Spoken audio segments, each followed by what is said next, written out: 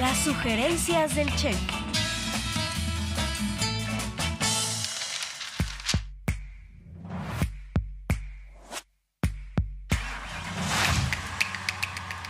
¿Quiénes quieren los precios? Estos son los precios de los combustibles para esta semana. La gasolina regular tiene un precio promedio de 23 pesos con 93 centavos, mientras que la premium se ubica en 25 pesos con 51 centavos. Por su parte, el diésel tiene un precio promedio de 25 pesos con 59.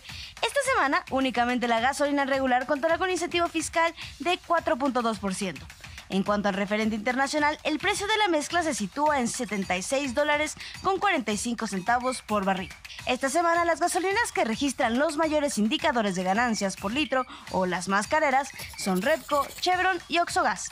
Y si buscas ahorrar, quienes son aliadas de los consumidores por sus precios bajos son Repsol, Orsan y G500. Los precios para el gas esta semana son los siguientes. El cilindro tendrá un máximo de 20 pesos con 8 centavos el kilo, mientras que para los tanques estacionarios el litro estará en 10,84.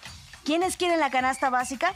Las tiendas de autoservicio han respondido favorablemente en lo que va del año, manteniendo los precios de esta canasta hasta en menos de mil pesos.